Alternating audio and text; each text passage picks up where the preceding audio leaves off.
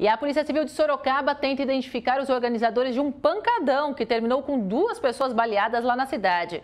Walter Calles está aqui com a gente, que ele tem todas as informações. Oi, Walter, boa tarde. Olá, Karina, muito boa tarde a você e todos que acompanham o Acontece.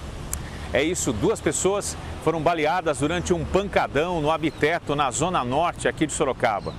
Uma dessas pessoas é um jovem de 22 anos que estava nessa festa e depois que uma confusão começou às 6 da manhã, ele disse que ouviu tiros e percebeu que estava ferido.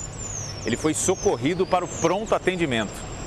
Também no Habiteto, Karina, um outro jovem de 21 anos estava saindo de casa nesse mesmo horário da confusão e foi atingido por um tiro na barriga e também foi socorrido a um pronto atendimento. Karina ainda teve pancadão na região central aqui de Sorocaba e o dono de um estabelecimento foi preso depois de vender bebida alcoólica para um adolescente. Eles foram encaminhados ao plantão policial.